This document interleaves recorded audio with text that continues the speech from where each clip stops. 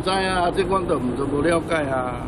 传出白木由买家接手，但员工似乎不清楚，位在桃园的白木观光工厂再也看不到过去游览车一辆辆的荣景，现场冷清清。不过白木屋的品牌价值依旧被肯定。董事会决议出售白木屋食品公司所有股权，本公司出售白木屋金额为新台币七亿九千两百万，预计处分利益约九千九百零四万三千元。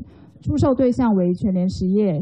在五月底停业的白木屋，经过十多间买家询问下，八号确定用全台最大超市量贩通路龙头的全联，以七点九二亿元卖下所有股权。胜出关键就是通路优势。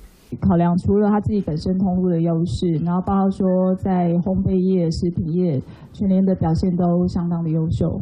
全年随后也发表声明，表示因为和食品业者合作开发面包，为进一步拓展面包销售市场，再加上秉持不开工厂的想法，因此购入白木的厂房设备供食品业者合作。全年它单店单日的平均营业额在三十二点八万嘛，所以如果以后卖这种售价超过一千元的蛋糕，那每一年有每每一年有许多的节庆。其实当然都可以去增加它的单日单店的平均营业额。三顾茅庐请到诸葛亮啊！我不是三顾茅庐，我是我是 龟仙人弄个平底哦。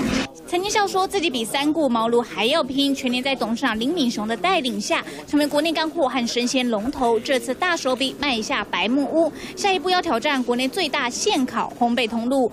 三立新闻许志雄、李梦山、张玉杰综合报道。